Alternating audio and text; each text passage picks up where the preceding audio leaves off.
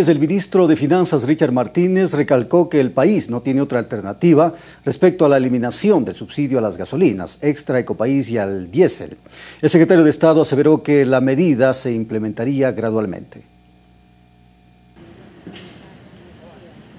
El gobierno nacional tiene clara una decisión y es la eliminación del subsidio al combustible. Así lo señaló el ministro de Economía y Finanzas Richard Martínez, quien aún no define en qué tiempo estaría listo el decreto que reemplazaría al 883 derogado tras el paro nacional. Es que el país no tiene otra alternativa.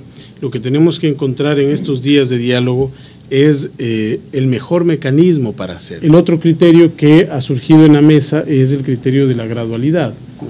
Eh, algunos actores nos han mencionado que eh, sería importante analizar un mecanismo que nos permita ir poco a poco retirando ese subsidio. Allí se refirió cómo sería la focalización de estos recursos. Los mecanismos de protección social y el destino de los recursos.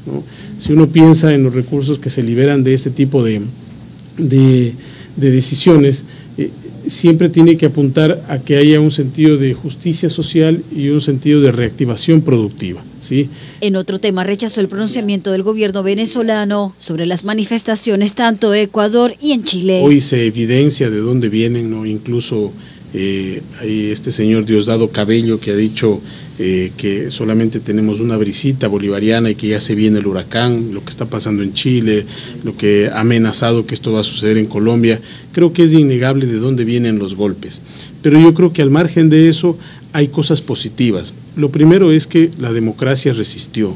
Eh, la democracia resistió a uno de los golpes de Estado más fuertes de las últimas décadas. En ese sentido, el ministro señaló que los diálogos sobre el tema económico están abiertos, pero no con un solo sector como la CONAIE. Gilena Perlaza, Telerama Noticias.